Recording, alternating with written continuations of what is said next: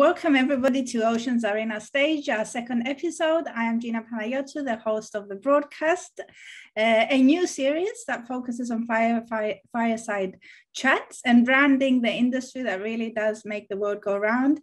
And today I have a guest who can truly discuss how the role um, of the association, which he represents, um, the vital role uh, the play in making the world go round and supporting the maritime industry and community. Joining me on today's stage is uh, Mr. Fred Kenney, who is the Director of Legal and External Affairs at the International Maritime Organization. Welcome, Mr. Kenney, to today's broadcast. Thanks, Gina. It's nice to be here.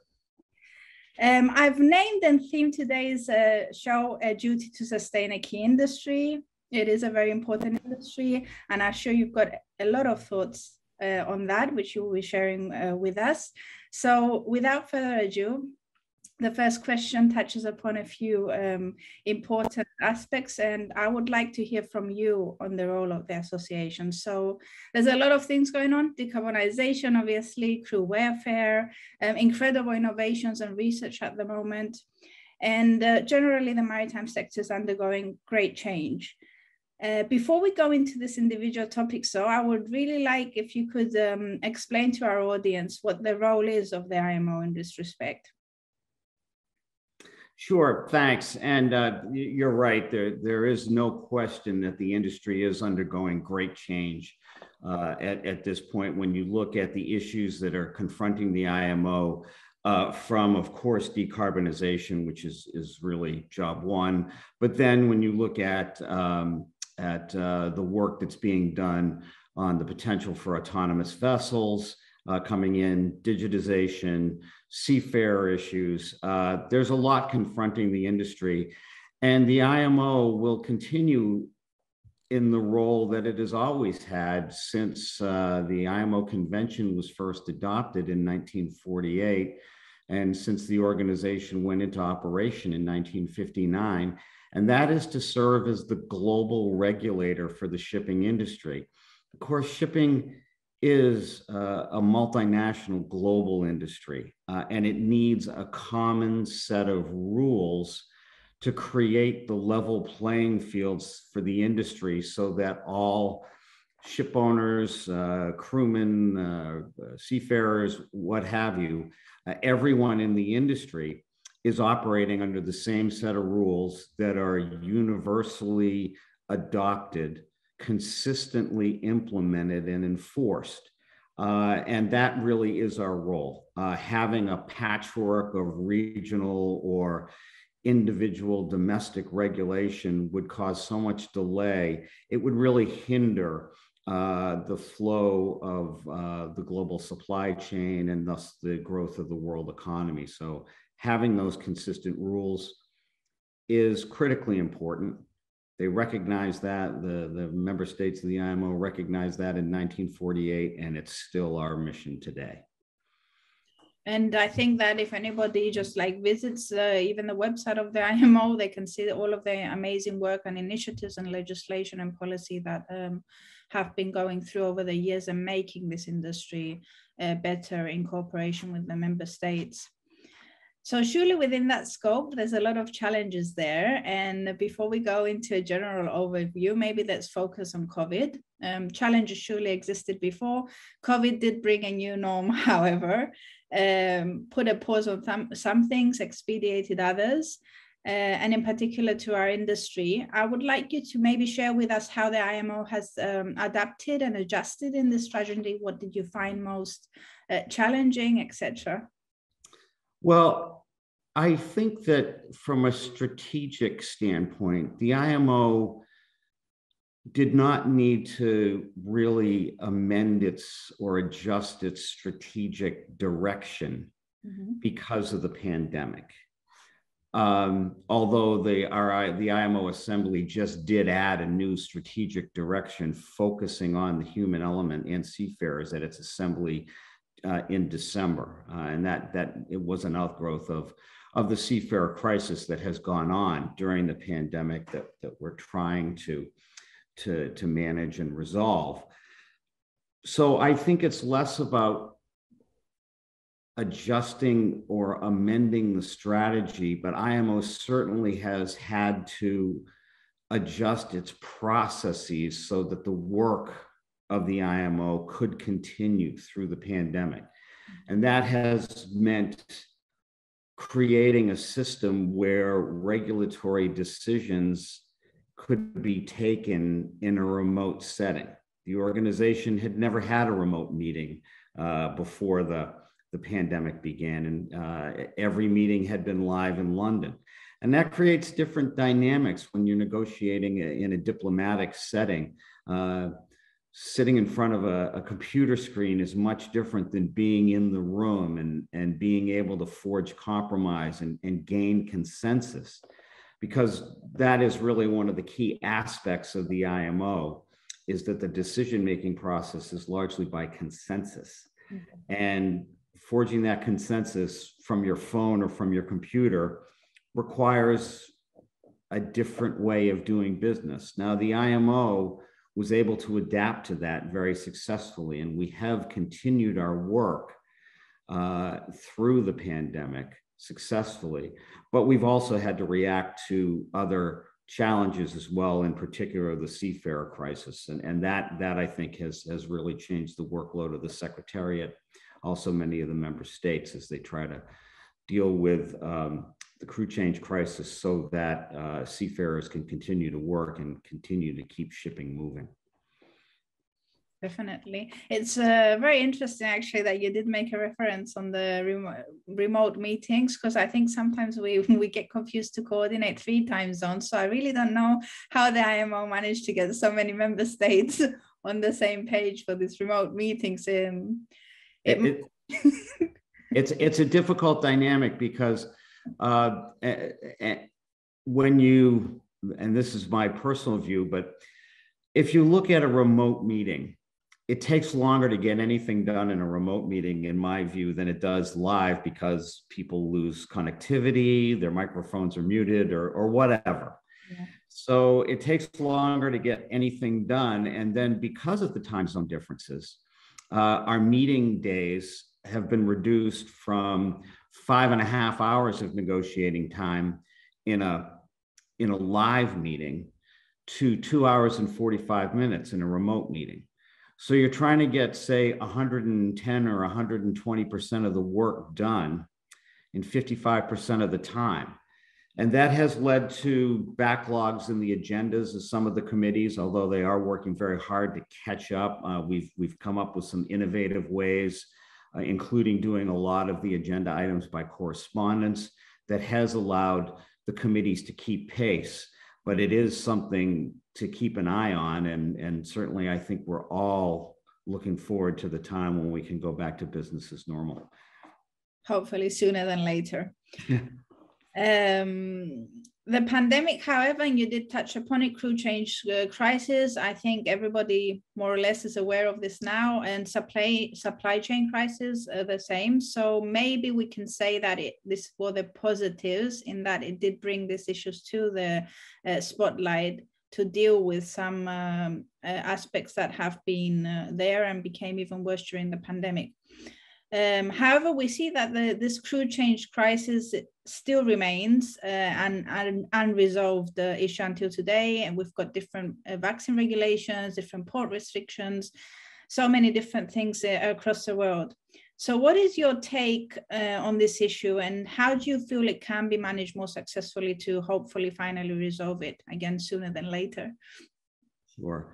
Well, I would say that the crew change crisis uh, has been a really difficult issue to resolve. And, and I, I, think, Gina, as you correctly pointed out in your introduction to this issue, uh, it has raised the visibility of shipping. And, and uh, uh, I have found it remarkable the amount of coverage that the crew change crisis has brought. I, my view uh, as, as the director of external relations at the IMO, which includes media and communications, is that the crew change crisis has received more media coverage globally than really any other issue I can think of.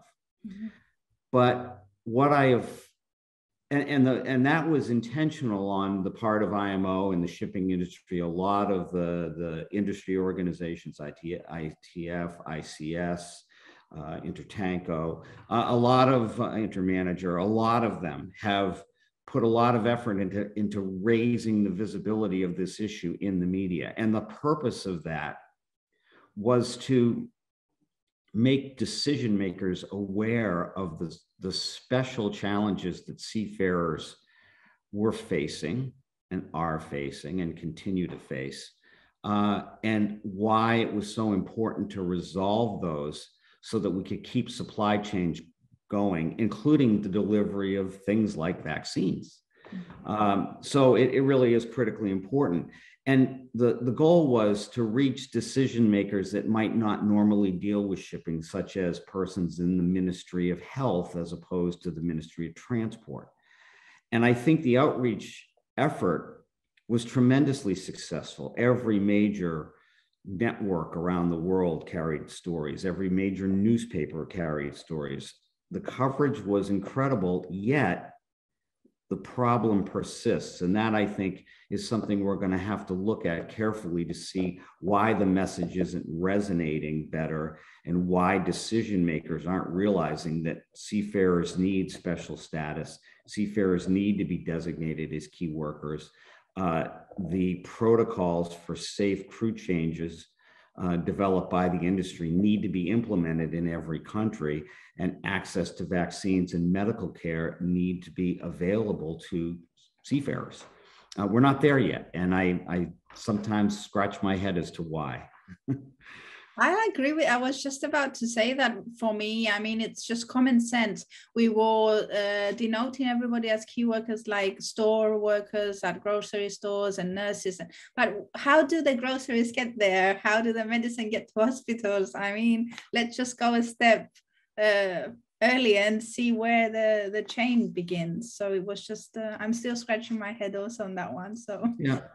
I, I am too. I mean, there's there's more work to be done. Clearly, if you look at just the raw numbers of the 175 IMO member states, there are still only 62 that have designated seafarers as key workers. So there's clearly more work to be done there. And once they're designated as key workers, the what goes with that status needs to be implemented for seafarers, including foreign seafarers that might be in ports, so that they get access to vaccines, they get access to medical care. If a crew change uh, is occurring in a foreign port, they can get home uh, without unreasonable disruption or delay. Definitely. Let's hope that this visibility, at least that came with the pandemic, is a step forward and uh, that it is bringing these issues to a resolution somehow. Um, as I mentioned earlier, even before COVID, there were a lot of matters at stake, just maybe COVID highlighted some. Uh, but one of the important things that, and the major area of focus for the IMO is, of course, also seafarers' abandonment, which, yes, does happen. Um, maybe you would like to explain, because I know you've done a lot of work on this, on how this issue affects our industry as a whole, and uh, what would be the ideal strategy maybe to resolve it or priorities to deal with it going forward? Um, thanks, Gina. And uh, as you said, this is an extremely significant issue facing the industry. Unfortunately, the trend is quite alarming. Uh, we only had 48 abandonments in 2019 before the pandemic. That jumped up to almost 90 in 2020, so it almost doubled. And then last year, 2021, there were 95 abandonment cases, which uh, is, is far in excess of anything we've, we've ever seen uh, before. And regrettably, uh, here we are in January of 2022, and we're averaging almost a case every other day now. Uh, so the, the situation is, is, is getting more serious. Uh, of course, there are different reasons for abandonment. Um, generally, they're financial. Uh, the pandemic has made many of the cases much more difficult to resolve because uh, they're difficult to resolve as it is. But then when you add that once you resolve the case, you may not be able to get the seafarers repatriated to their home countries, um, it's a real issue. Of course, uh, the key is compliance with the Maritime Labor Convention standards that require abandonment insurance. And, and we find that cases are much easier to resolve if the ship is properly insured, but that takes oversight by both the flag state and the port states to ensure that ships entering the port have the proper abandonment insur- insurance. But we're only uh, there less than half of the cases that we're resolving are, uh, um, or that we're seeing um, proper insurances in place. Which, um, but I think uh, we are working actively. Um, the IMO legal committee has a correspondence group that is developing guidelines for flag states and port states to resolve abandonment cases because one thing that we're seeing is, is that in some cases there's a lack of awareness on what to do and how to properly handle a case when a ship's been abandoned uh, and uh, I think these guidelines will really be helpful. The goal is uh, to have them uh, endorsed by the legal committee at its meeting in March, and then it will move on to a joint IMO ILO working group uh, and hopefully be approved. But but I think awareness of the issue and knowing what to do in the situation is going to be very important for moving forward, so that if we continue this trend of more and more abandonments, they can be resolved quickly. Definitely, I think always the this form of guidance on how to manage situations should always uh, set set the, the the right path forward. So we look forward to that being endorsed. um, we talked about it already. Undoubtedly, seafarers have been the mostly affected through this pandemic, and uh, I think I've got an interesting question. So not only with the port uh, state um, uh, port sorry change crisis uh, they were stuck at sea. Some of them couldn't go back to work. It was a whole um, uh, ripple of effects that happened there for their families. For them some of them exceeded even 12 months on board. And no shore base leave to mention. Uh, do you foresee that this great resignation that is happening in other sectors for other reasons, of course, um, that followed COVID and their unwillingness to follow the seafaring, um, seafaring sorry, profession uh, will follow also in the um, due to this uh, situation with the COVID crisis? Uh, how can it be avoided from an IMO perspective? How do you? what's your grasp uh, grasp on this?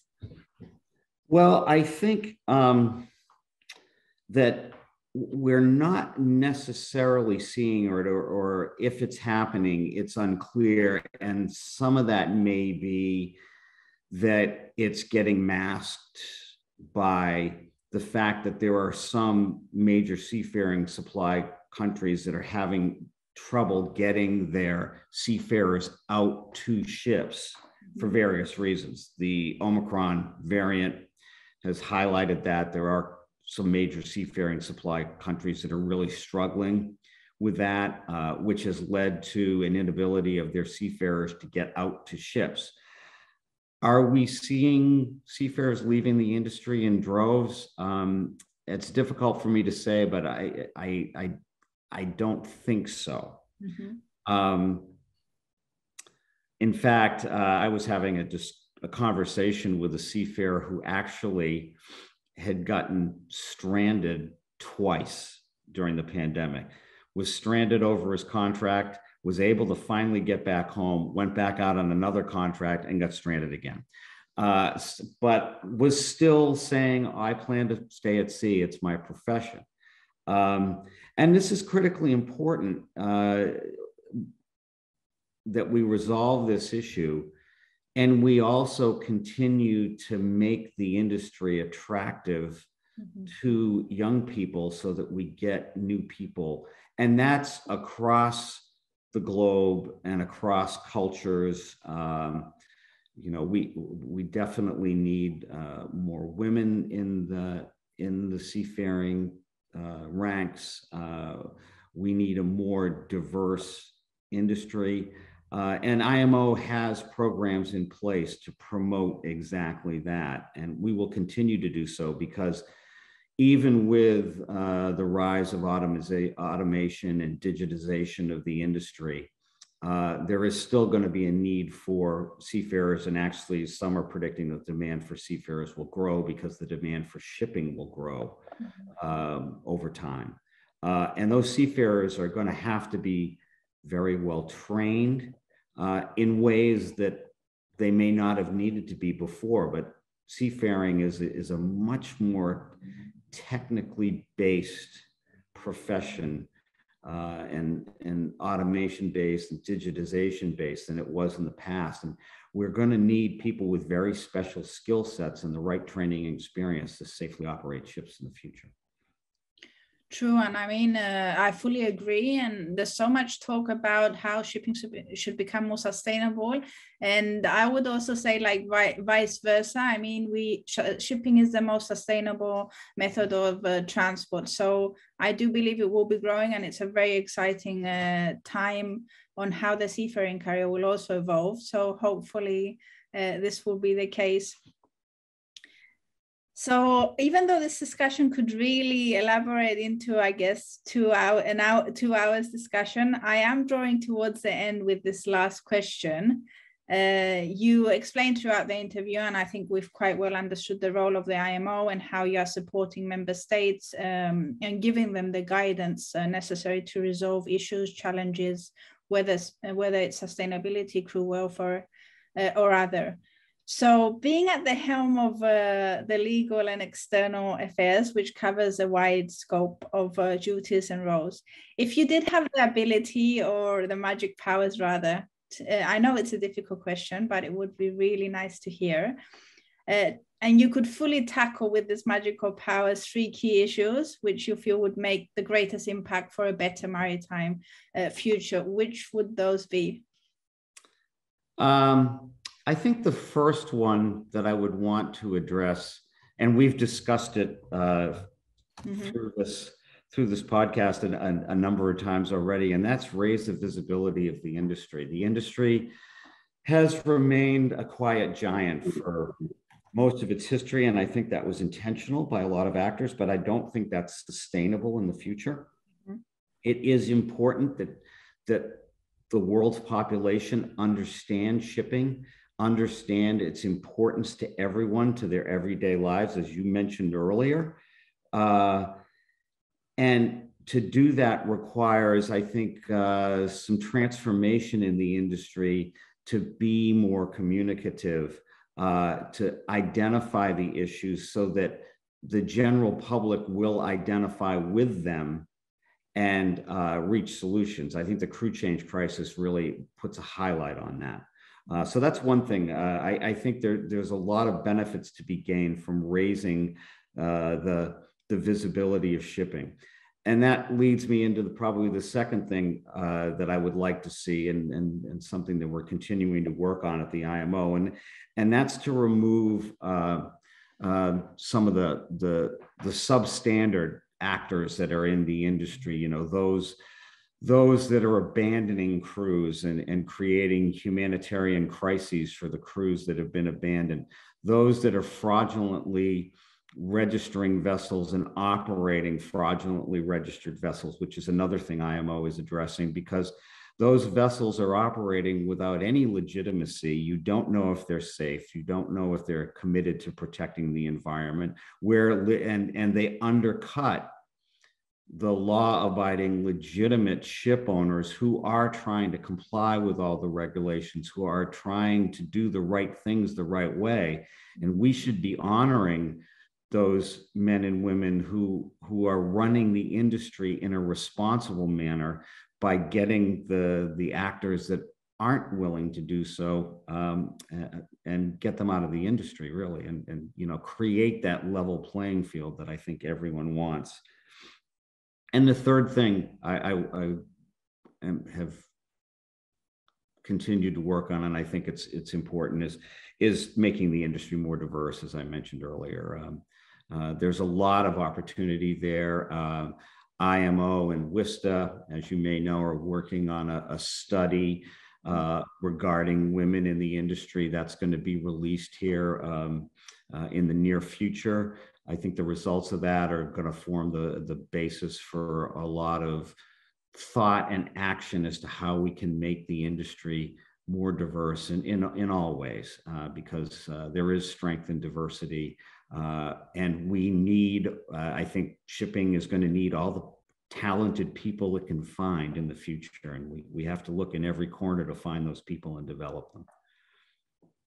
Most definitely. And I mean, as an active member of WISTA and uh, WISTA UK secretary, I definitely believe that uh, we need more women on board and on shore because it's like excluding almost 50% of the population. So it, it couldn't make more sense.